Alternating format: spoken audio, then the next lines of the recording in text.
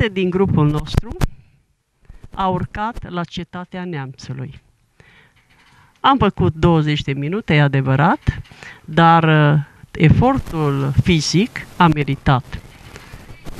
Înainte de a intra în cetatea propriu-zisă, unde un ghid pe care l-am întâlnit și cu câțiva ani în urmă ne va îndruma, domnul Mihai, colegii mei, membri ai Asociației Județene a Pensionarilor, doresc să aducă un omagiu celor care, într-un fel sau altul, s-au jertfit de Am să rog în primul rând pe doamna Maria Bălaj să ne recite din creația proprie. Noi suntem români și mândri de acest nume. Îl purtăm cu respect oriunde am fi în lume. Căci dreptul de a avea o țară și de a-i spune România, strămoșii noștri ne-o lăsară, dar ei s-au înfrățit cu glia. Căci noi am fost din totdeauna în vatra noastră strămoșească, Moldova leagănul culturii, Ardealul drag și țara românească. Mulți voiau să ne cucerească și biruri grele ei ne-au dat. Moldovei, domnul, data pe Ștefan, de turci, tătari, el ne-a scăpat. Mulțumesc! Îmi iubesc sărașii gria, Graiul dulce strămoșesc,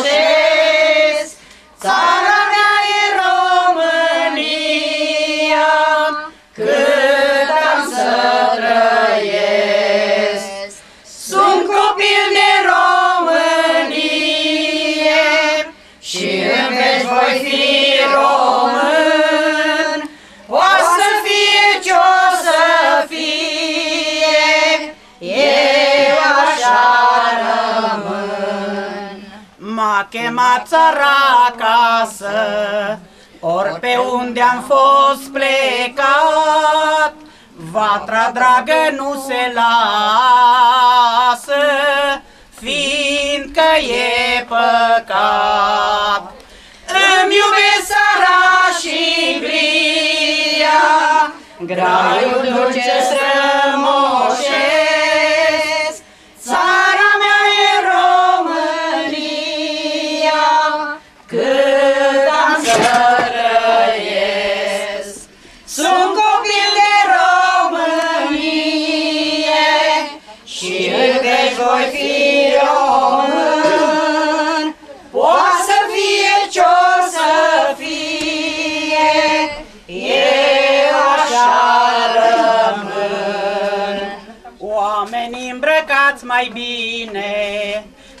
la suflet erau goi, Am văzut prin țări străine,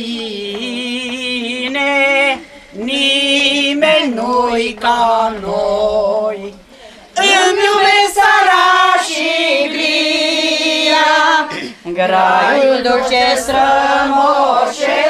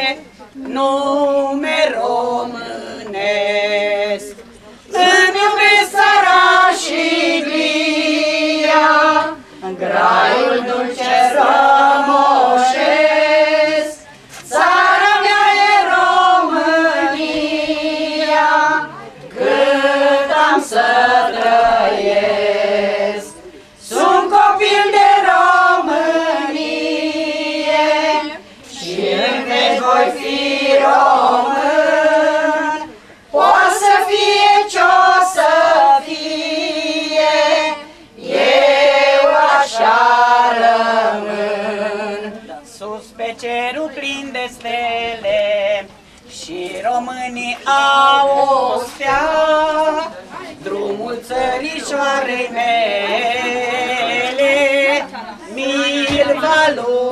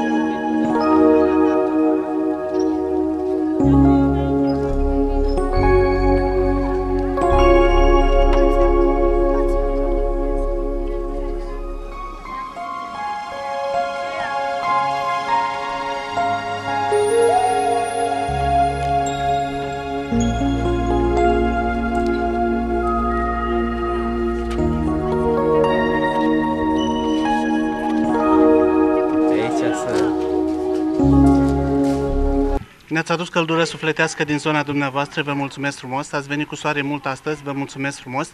Drumul a fost greu pentru dumneavoastră, dar noi vă transmitem un călduros bine ați urcat și bine ați venit la bătrână și vestita cetatea Neamțului. Are vechime 620 de ani, după cum se știe, nu a fost zidită de Ștefan Voivod, de unchiul său, că de la el începe marea familie a mușatinilor Petru I, Roman I, Ștefan I, Alexandru cel Bun și după care urmează la că mai târziu Ștefan Voivod. Deci Petru I Mușat, el a ales locul pe vârful ăsta de deal. Dar de ce aici pe vârful ăsta de deal? Se poate observa la timp dușmanii, că de dușmani nu duceam lipsă niciodată, nici în ziua de azi, sunt dușmani nevăzuți acum, dar atunci erau văzuți, că veneau câtă frunză, câtă iarbă și uite că au ales locul pe vârful ăsta de deal. De ce au ales locul aici? Să vadă la timp, spuneam, dușmanii și negustorii care treceau cu diferite mărfuri prin zonă. Și atunci s-a făcut lanț de oameni cu jertfă multă că așa este m, țara asta românească, cu multă jertfă, când trebuie să faci câte ceva. Și atunci s-a făcut lanț de oameni, spuneam, de jos și până aici sus. Și toată chiatra asta pe care o vedem noi acum a fost adusă cu brațele și cu schinare, uh, în jur de vreo 10 ani, în timpul voivodului Petru I, ce au folosit la îmbinarea pietrelor rămâne o enigmă a istoriei, ce au folosit ei atunci la îmbinarea uh, pietrelor. Nu era acces până am venit noi acum, podul ăsta și cu intrarea secol 15, intrarea o observăm, secol 14, cu poartă uh, fixă și cu un pod în linie dreaptă. Era un podeț mic în linie dreaptă pe vremea respectivă și nu o termină Petru. N-a avut cum să o termine el. Nu o termină nici fratele său Roman, întâi mușat, iar uh, fratele său, cel mai mititel, că fiecare la timpul său a fost domn în Moldova, Ștefan I Mușatu trebuie să-l bată pe regele maghiar, că o venit prin Moldova în campanie militară mm, și a ajuns până sub zidurile cetății într-o localitate Hindău sau Ghindăuan și acolo au luat niște ciomegi peste schinari, nu învăța aminte să ducă și el în țara lui, că avea și el țară bogată. Prima luptă a fost consemnată în documentele vremii 1395, repet din nou anul, împotriva regelui maghiar Sigismund de Luxemburg. Mai târziu, Alexandru cel Bun întărește și el Moldova, dar nu termină cetățile Moldovei, nu le termină. Avut o domnie liniștită, iar mai târziu Bogdan al doilea, Ehm, era, am să spun așa mai pe de-a drept, un insurat și o trebuie să se ducă până în Oltenia, să facă o alianță cu oltenii împotriva mm, dușmanului comun Turcii, pentru că nu erau între țări române atunci. Și acolo vede o domniță frumoasă, i-a plăcut și Maria i-a plăcut, așa o chema Maria, Maria Oltea, Oltea încă la oricine ei, o aduce în Moldova, nuntă mare face, așa și atunci, ăla că mai târziu se naște unul dintre cei mai mari voivozi pe care a avut neamul românesc. E vorba de Ștefan Voivod, era mărunțel, s-a născut la Borzești, în apropierea cetății, acolo a avut locul copilăriei, l a avut prieten pe Mitruț, spun și acest lucru, pentru că erau nedespărțiți și atunci, într-un moment de joacă al lor, Ștefan îi zice, tu vei fi capitan Mitruț, dar n-am mai avut timp să aruncă capitan, pentru că a fost ucis de către tătari. Și acolo Ștefan, în momentul când ajunge domn al Moldovei, ridică o frumoasă biserică în cinstea Maicii Domnului, adormirea Maicii Domnului ehm, și îi pomeni Mitruț în ziua de astăzi. Ehm, vreau să vă spun că Ștefan atât ce-o plâns după Mitruț și atunci s-a rugat lui Dumnezeu să-l ajute să ajungă domn al Moldovei și într-o zi, la 19 ani, a ajuns domn al Moldovei cu ajutorul lui Dumnezeu și la sfatul cuviosului Daniel Sihastru de la Putna, ehm, pe câmpul de la dreptate a fost uns ca domn al Moldovei. Uh, întărește țara Moldovei toată, cu hotarul până la Nistru, nu la Prut, nu, nu, nu, nu, la Nistru era atunci hotarul Moldovei, cu asemenea cetăți Suceava a fost în centrul Moldovei, Soroca, Chilia, Tighina, Hotin, cetatea albă, Baiaș, Cheia, Roman. Și această vestită cetate ce face aici, o înalță aproape încă o dată la fiecare colț cât un tur înalt se observă, cu, e, cu etaje 3, era locuită în vremuri de război, ă, domnițe, copii, familia sa, în timp de pace doar garda cetății. La fiecare colț spuneam cât un turn înalt, ă, mai aveau și turnulețe pentru că exista biserică în interior, confortul deosebit era tencuită, văruită, dușumele, blănuri, trofee, șeminee, mobile. Este epocă ce vedem astăzi e o renovare parțială, pentru că locuiau copii născuți și nenăscuți în interiorul cetății, pentru că dușmanii luau copii în primul rând ca să-i facă inițieri, cereau tribut în copii, cereau tribut în domnițe, cereau tribut în hrană, în aur, tot cereau din Moldova. L-o da Ștefan, l-o da peste schinare cu șomagul până în, în sosătura de gheaur. Așa că a fost gata în preajma marilor bătălii. Despre sistemul de apărare am observat cu toții un zid care întărește latura de nord, are formă de semicer zidul, era încă o dată în înălțime, vreo 20 ceva de metri înălțime, formă de semicerc. Dar de ce numai latura de nord? Pentru că în fața fața cetății nu era necesar pentru că stânca este foarte abruptă. Și atunci numai latura de nord a fost întărită cu al doilea rând de zid. Despre uh, cale de acces, Ștefan nu face decât podul ăsta, când am trecut toții, sub formă de semicerc. De ce spun totuși formă de semicerc, formă de semicerc? Pentru că veneau cu berbecul pentru a dărma poarta și zidul, pentru că aveau bombarde. Ghiuleava, cum atingea zidul, ricoșa, nu dărma niciun zid, nicio piatră nu cădea. Și atunci podul ăsta era fără balustradă, sub pod era confort, așa îi spun, confort, pentru că erau usulițe bine ascuțite, îmbietoare și confortabile acolo. Era fără balustradă podul, cum să știe, fără, nu ce acum. La sfârșitul podului o groapă adâncă de vreo 40 de metri și ascunsă, a fost gata în preajma marilor bătălii. 1475, când Mahomed uh, era, era să, facă, să moară de inimă rea. Și atunci o trimis armata în Moldova, duceți-vă acum că gheaurii sunt în sărbători, pe 10 ianuarie.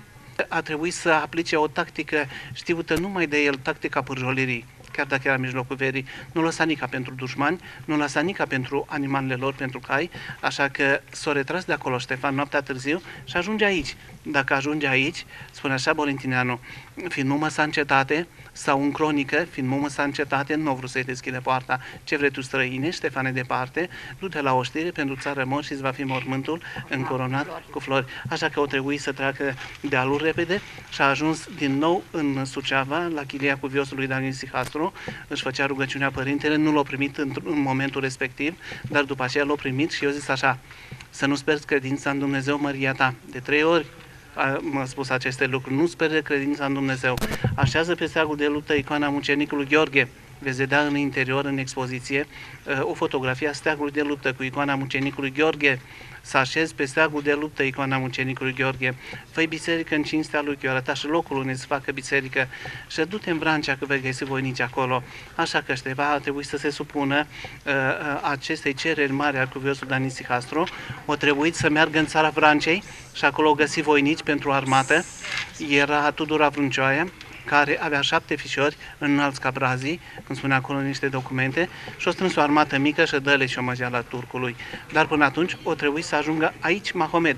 O ajuns aici, sub zidurile cetății, Mahomed cu ceritorul Bizanțului. Armata era cam, cam slăbită din cauza hranei, pentru că apă Apa, știm cu toții, spune acolo în cronică că era otrăvită.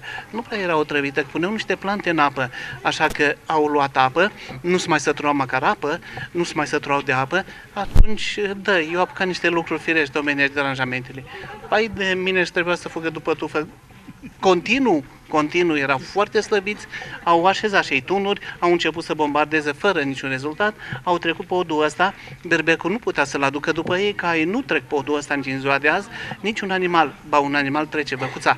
Ei nu știau că văcuțele trec podul ăsta, așa că au trebuit să-și ia scutul și sabia. Și de ei mergeau pe podul ăsta, cu scutul în mâna stângă și sabia în dreapta. Și am observat cu toții niște ferestre, simbol astăzi, atunci erau incluse în zid, pe acolo plăiește cu arcul și săgeata lovea dușmanul, cine era lovit cu săgeata peste schinarii, chica de pe pod jos în țeapă și rămâne acolo în confortul respectiv, iar restul care treceau deasupra gropii pe care am văzut-o, că era ascunsă groapa, avea vreo 40 de metri acolo, podul era sub formă de balansoar deasupra gropii, poarta deschisă, că era o intrare așa cum vedem aici, din cauza înălțimii zidului, crezând că s-au închinat lor năvală. În momentul când treceau repede podul, repede se înclină și arunca jos în groapă, exact ca prin niște șobolani. Deci eu rămas numele simbolic, cursa de șoareci au luat-o la sănătoasa după aceea. Că Mahmed a uh, sunat retragerea, au luat-o la sănătoasa, i-au bătut și o mâna din urmă până Dunărea i-a trecut. Așa spune în documentul respectiv. Așa că Ștefan a căzut în genunchi cu mâinile ridicate spre cer și îi mulțumește lui Dumnezeu, ridicând o mănăstire în trei luni, trei săptămâni și trei zile cu un albastru cum e cerul, mănăstirea Voroneț, în cinstea mucenicului Gheorghe. La Războieni, unde au pierdut o parte din armata lui, ridică o mănăstire în cinstea Sfinților Arhanghel Mihai și Gavril, Mănăstirea Războieni. Acolo, în temelia bisericii, sunt așezate ca Sfintele Moaște oștenii căzuți, din porunca voivodului și a cuviosul Danisi Castro, acolo i-au așezat la temelia mănăstirii, după care au ajuns aici pentru judecata cea dreaptă boierii trădători. Voi a străda credința neamului nostru, i-au judecat și au aruncat sus acolo în turnă neagră temniță zidul morții, iar prizonerii de război, voi ați căutat pământ și apă, săpați și dați de apă în curte, au săpat și au zidit până ce au dat de apă, până jos la nivelul râului, 110 metri în stâncă de piatră. Asta a fost pedeapsa voivodului, fiind pe patul morții anul uh, după 47 de uh, ani, 1504, spune așa, uh, Moldova n-a fost a mea, nici a voastră, ci a urmașilor, urmașilor noștri în viacul viacurilor și a dat 800 cu sfârșit. Mormântul îl păstrează mănăstirea Putna, acolo a fost dorința sa, să fie înmormântat acolo și o parte din familia sa. După Ștefan cel Mare, cei care au urmat la domnia a fost uh, fiul său Petru Rareș, uh, Ștefăniță, dar o să mă opresc la acel uh, voivod care făcea și el un pic parte din familia voivodului Ștefan. Dacă voi nu mă vreți, eu vă vreau, de mă voi scula, premunța am să popesc și eu pentru că a fost otrăvit că nu se mai putea uh, trăi cu acest uh, domn. Așa că el i-a dat foc cetății din poruncă turcească, observăm urma focului de ziduri, îi dă foc cetății.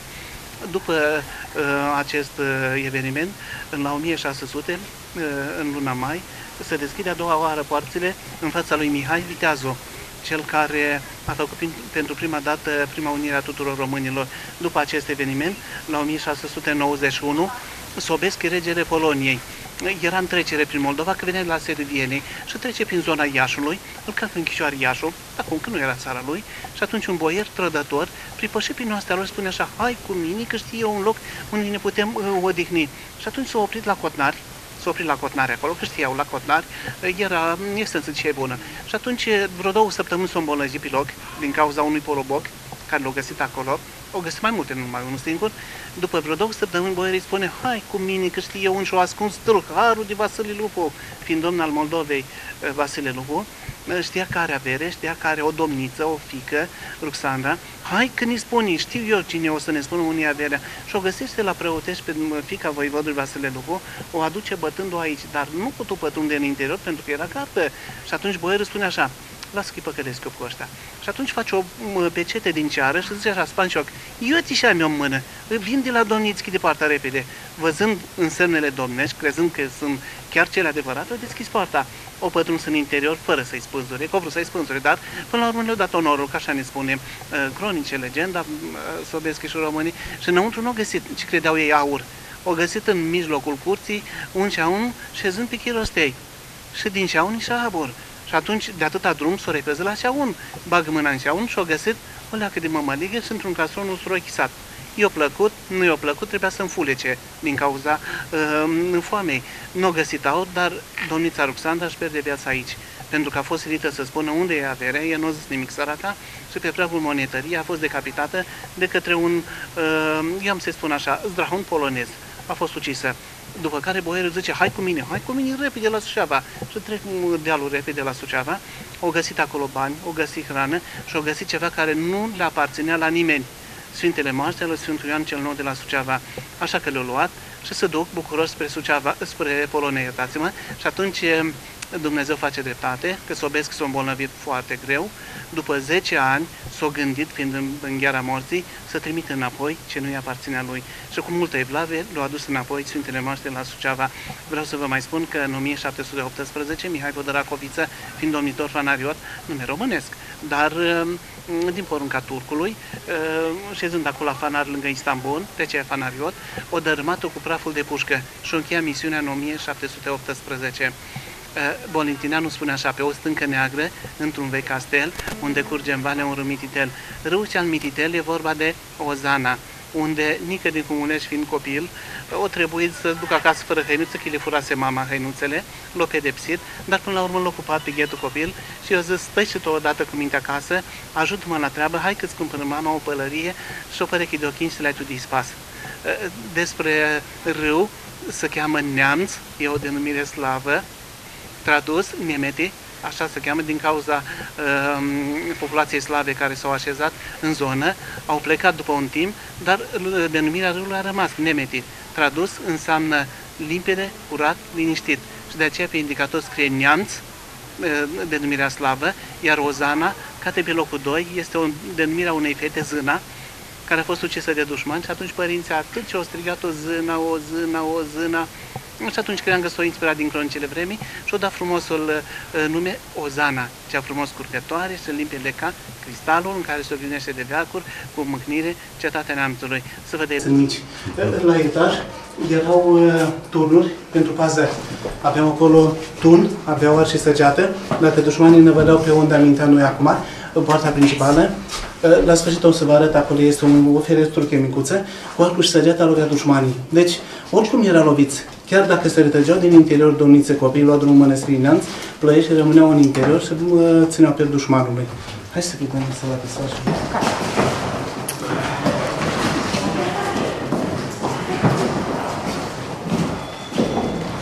Să stăm și noi la masa domnească. A fost sala de sfat și judecată. Când domnul Moldovei ajungea aici, poștenii săi, fiecare avea locul său, domnul acolo în față, iar aici în spate erau pârcălabii de Suceava și Neamț. O să vedem pe pârcălabii Sagian, nu vorbesc pentru că e de plastic, iar acolo avem o hartă a Moldovei. Toată Moldova de jur împrejur o vedem întărită cu cetăți. Suceava, Soropa, Chilia, Dina, Cotin, Cetatea Albă, Baiaș, Cheia, Crăciuna, Neamț, toate, toată granița Moldovei a fost întărită cu asemenea cetăți. Când au făcut? Cu ajutorul lui Dumnezeu. Vedem aici steagul de rută, este o copie cu icona ucenicului Gheorghe, în cinstea lui. Spuneam că s-a făcut mănăstirea Voroneț. Avem acolo vitrină cu obiectele care au fost găsite în interiorul cetății. Ehm, acolo jos sunt chiulele găsite în interior, câteva vase, câteva arme, o suliță, un grup de săgeată, iar la etaj avem acolo documente în uh, slavă sau chirilic, Așa era scrierea în acele vremuri. Avem acolo sigiliți și bucăți din uh, teracotă. Pentru că în interior temperatura trebuia să fie bună în iarna și aveau șeminei din um, teracotă adusă tocmai din Italia teracota. Avem aici un săi, Ștefan din Mușar, Ștefan din Mușar. Îl avem pe Ștefan, după care îl avem pe Mahomet, dar nu era